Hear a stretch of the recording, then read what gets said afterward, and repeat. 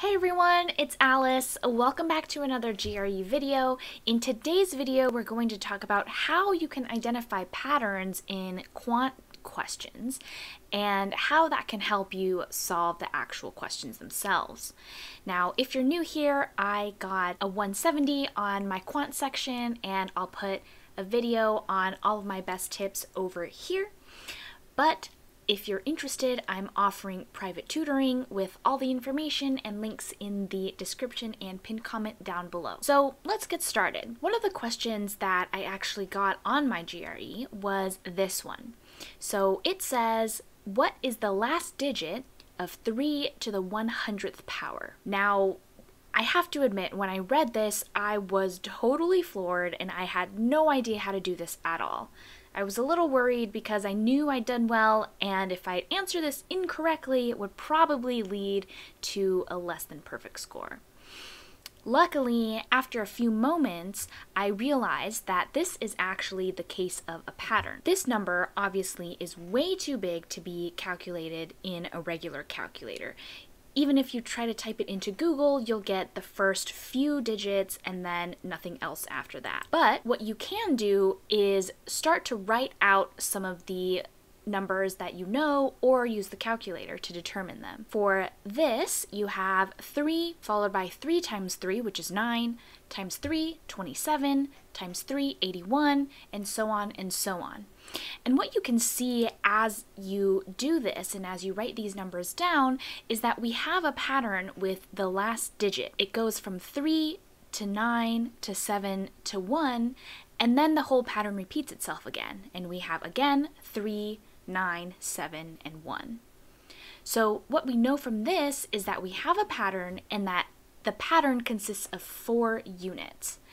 So if we're going to raise 3 to the 100th power, we know that this pattern is going to be fit into that pattern 25 times flat, a perfect 25 times. That means that the last digit is going to be the last number in our pattern, and in this case, that's going to be 1. Now, unless you have a super powerful calculator, you're not going to be able to confirm this. But once you get the pattern, you should get the solution. Hopefully that makes a little bit of sense, and this next example I think will help you out even more. This is another question that is very, very similar. Which of the following could be the units digit of 57 to the nth power? where n is a positive integer. Here, of course, the first thing you should know is that the units digit is the ones digit. So we're looking at the same digit that we were in the previous question. If you know how to look at patterns, we're going to do exactly the same thing. We're going to write out the first few numbers in this sequence and see if we can spot one.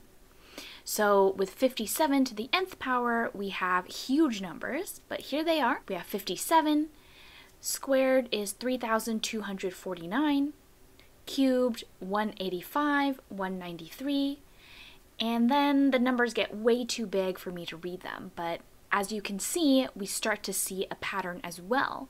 And in this case, it's 7, 9, 3, 1, and then again, 7, 9, 3, 1.